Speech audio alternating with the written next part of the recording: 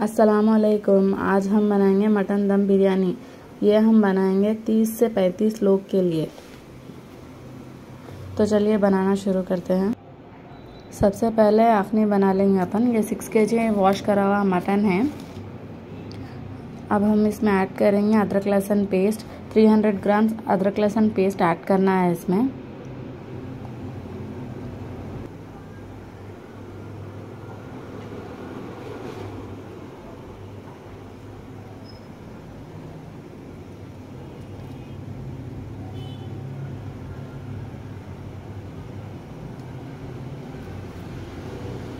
नमक ऐड करना है इसमें four to five tablespoon नमक ऐड करना।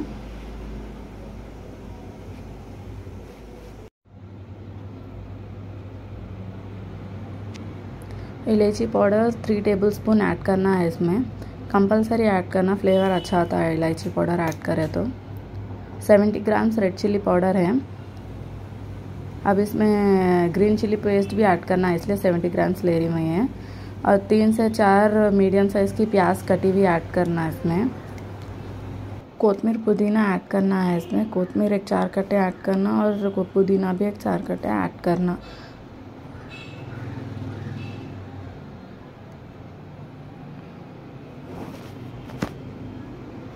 हरी मिर्ची का पेस्ट है ये। सेवेंटी ग्राम्स हरी मिर्ची का पेस्ट लेना है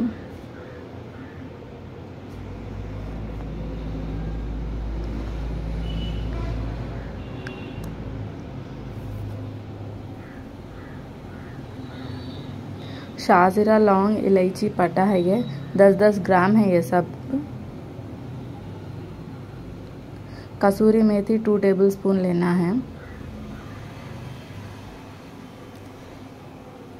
अच्छे से मिक्स कर लेने का है इसको। अच्छे से मिक्स कर लेके एक थर्टी मिनट्स के लिए रख देना। इसमें हल्दी पाउडर ऐड नहीं करना। हल्दी पाउडर ऐड करे तो गोश्त की बोटी जैसा ज़रा काली हो जाती इसलिए बोल के हल्दी नहीं ऐड कर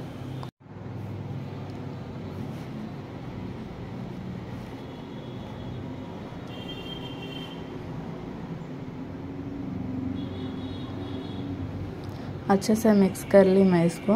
मिक्स कर लिए बाद से ढक्कन से ढाप के थर्टी मिनट्स ना तो फोर्टी मिनट्स तक रख देना है ऐसे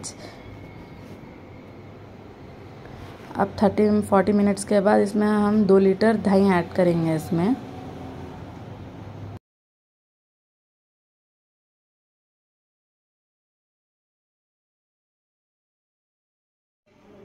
अब हम इसमें ऐड करेंगे ऑयल ये तले सो प्याज का तेल है 500 हंड्रेड एम ऐड करना है. पूरा ये जैसो दो लीटर तेल था, उसमें जैसो वन एंड हाफ़ के जी ऑनियन फ्राई कर ली थी मैं.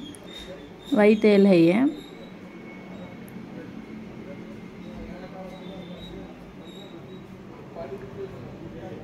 वन एंड हाफ़ के जी जैसो तली हुई प्याज है ये, अच्छे से क्रश कर लेना इसको क्रश कर लेके इसमें ऐड करना.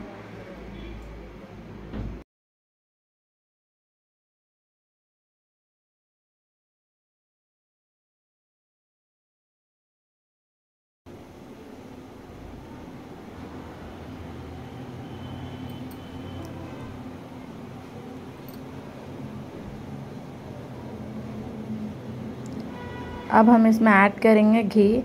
एक 20 ग्राम जितना घी ऐड करना है, असली घी ऐड करना है इसमें।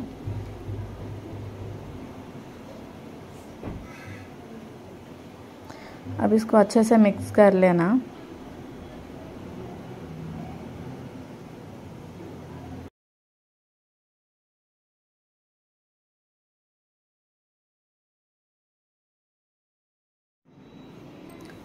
अच्छे से मिला लेना है इसको। मिर्ची नमक टेस्ट करना, कम ज़्यादा है तो मिक्स करना अभी ये टाइम पे। पाँच नींबू का रस इसमें ऐड करना।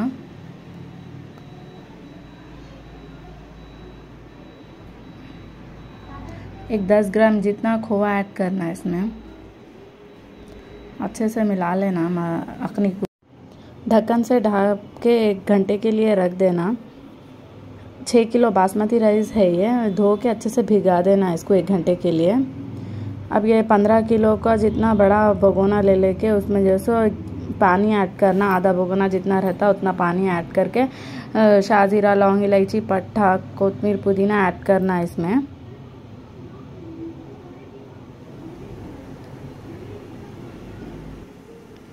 पचास ग्राम जितना नमक ऐड करेंगे लास्ट में चेक करेंगे, नमक कम है तो फिर ऐड कर ले सकते हैं। आधा नॉन देखो टेस्ट करके देखना, नमक कम है तो थोड़ा ऐड कर लेना। अब अच्छा आप रहा है आधन इसमें से एक चार ग्लास जितना अखनी में ऐड करेंगे अपन ये पानी।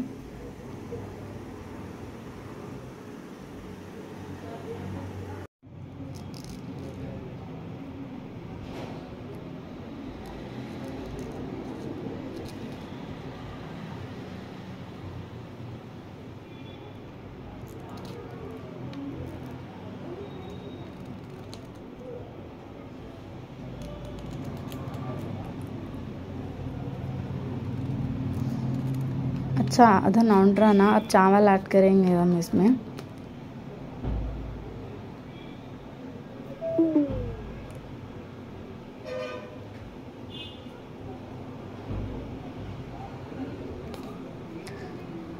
ज़्यादा नहीं पकाना चावल को फ़र्स्ट ले थ्री लेयर्स में डालना है इसकी मटन के ऊपर। कच्ची अखने की बिरयानी है ना तो थ्री लेयर्स में डालना फ़र्स्ट लेयर जैसा कच्चा रहना चावल। ज़्यादा नहीं पकना, एक टेन मिनट्स ऐसा रख के पानी में रख के निकाल देना। अब इसमें एक लेयर लगाना अब।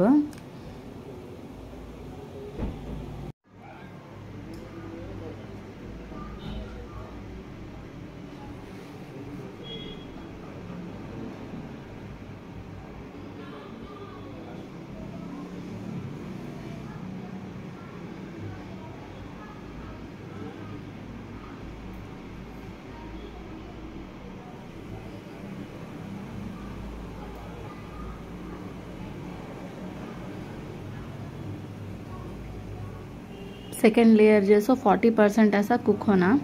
उसके बाद सेकेंड लेयर लगा देना।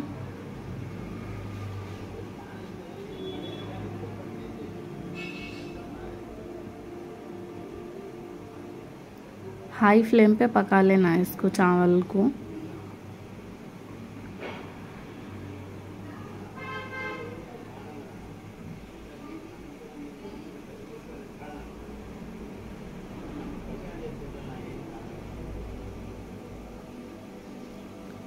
थर्ड लेयर लगाना, थोड़ा एक फाइव मिनट्स ऐसा चावल को पका लेना, पका लिया बस फिफ्टी परसेंट ऐसा कुक हो गया तो अब इसमें थर्ड लेयर भी लगा देना।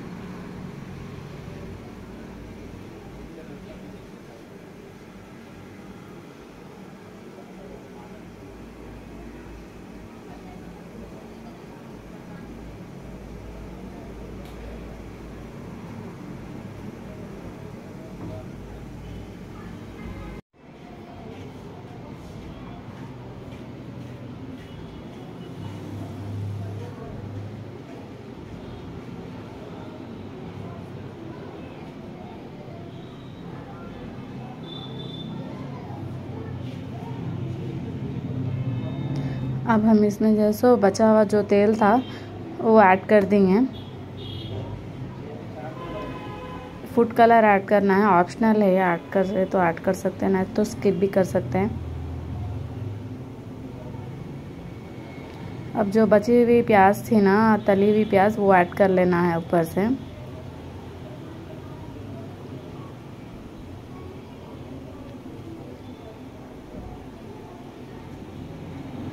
थोड़ा सा हरा धनिया ऐड करना है।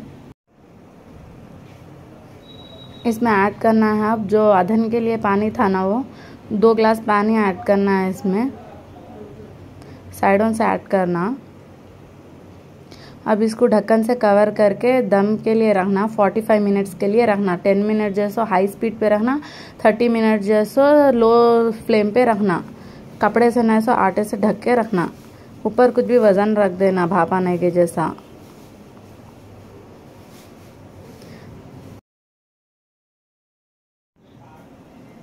फोर्टी फाइव मिनट्स के बाद बिरयानी अच्छे से दम हो चुकी है ये।